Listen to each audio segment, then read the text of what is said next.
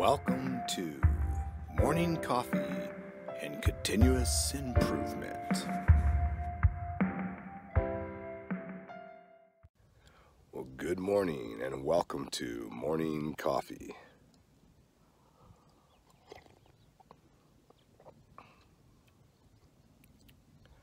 Hi, I'm Randy Weisweaver, CI Manager, and every week I like to talk about a subject. And I was just out here walking in this beautiful desert, in this beautiful world, and I was thinking, every company needs a learning organization. Learning could be from going to college, learning could be just reading a book. But if everybody's learning, it's going to benefit everybody and the company. One of the things a company can do to help make sure people are learning is to have a lean 101 class, a white belt class. The goal can be that everybody at the company has a white belt in continuous improvement beliefs.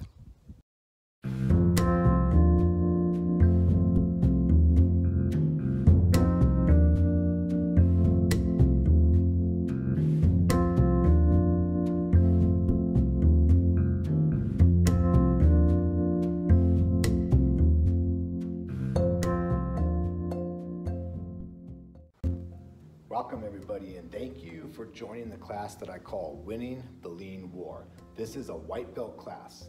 Today, you will start your lean journey, and today, you will invest in yourself.